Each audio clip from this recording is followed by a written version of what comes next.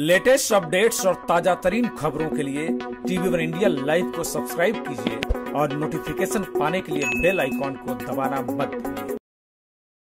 मी संजय राऊतांच्या या वक्तव्याच्या संदर्भात एवढंच बोलू इच्छितो बेळगावमध्ये मराठी माणसाचा पराभव झालेला नाही कारण मराठी माणूस पराभूतच होऊ शकत नाही. बेळगावमध्ये संजय राऊतांच्या अहंकाराचा पराभव झालेला आहे. भारतीय जनता पक्षाच्या निवडून आलेल्या नगरसेवकांमध्ये पंधरापेक्षा जास्त मराठी लोक आहेत.